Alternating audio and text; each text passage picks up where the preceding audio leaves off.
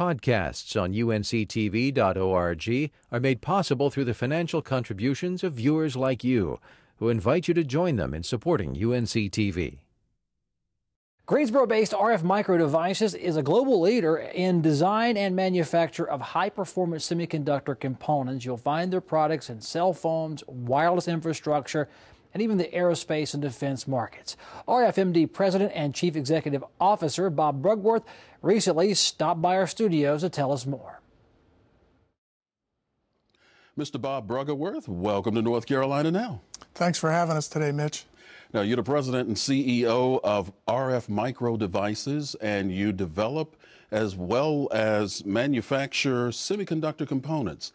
Now, what are some of the items that your products go into that people use every day? You know, Mitch, I guarantee you use our products every day. I'm going to bet you have a cell phone. And, you know, we make a part that actually connects the cell phone back to the cell tower. We also make a part that connects the cell tower back to the phone. You may even have a computer or a tablet, collects cellularly or over Wi Fi. We connect again back to the station and then back to the device itself. These would be two examples. Now, what are some of the things that folks may not be aware of? We're also in uh, cable TV line amplifiers. That would be the part that actually sends the signal from outside your home to your home. It actually uh, also helps increase the bandwidth so that you can get more digital channels. And we also make components on your set top box when you want to send the signal back to your cable provider to send you the next program. When you think of semiconductors, I mean, it's it's big business, but what are some of the trends that drive your business? Yeah. We watch three macro trends. One is connectivity, one is mobility, and one is energy. When we look at connectivity, if you look at the number of devices today that are connected to the internet, it's pushing 6 billion.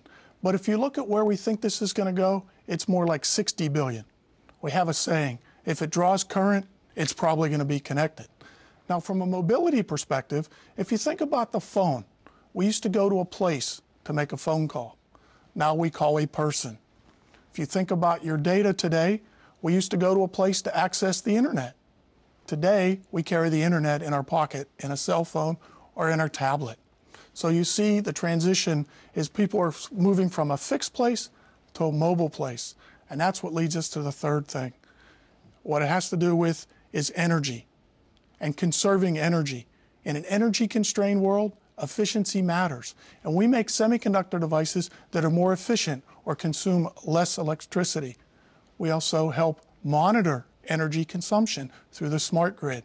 And a third area we're investing in is the creation of energy through concentrated photovoltaics.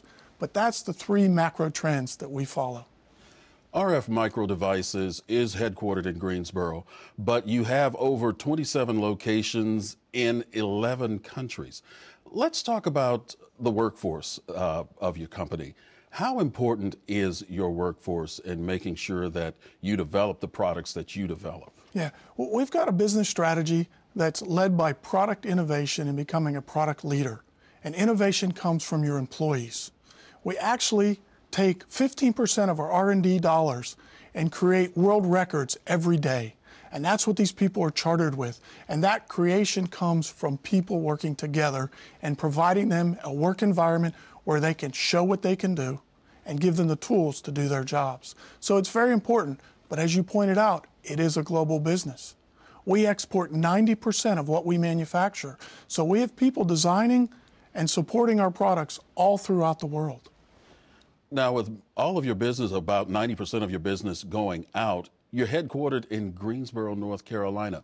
What makes Greensboro as well as North Carolina unique to RF micro devices? Yeah. First, I have to admit, we like calling North Carolina home. Our founders are from the area, and what we found is North Carolina is a great place, great business environment. We're able to attract employees from all over the United States and, in fact, all over the world, and they like calling North Carolina home. And of course, a lot of companies have been dealing with the economic crisis. How have you been affected by this situation? Yeah. I think most businesses have been impacted by what's been going on with the Great Recession a little bit back and just some tough macroeconomic times. We've been very fortunate. When I talked about those three macro trends, if you think about it, people are still buying cell phones. They're upgrading to devices that, again, can be mobile data opposed to voice. That actually is more content of those things that we make.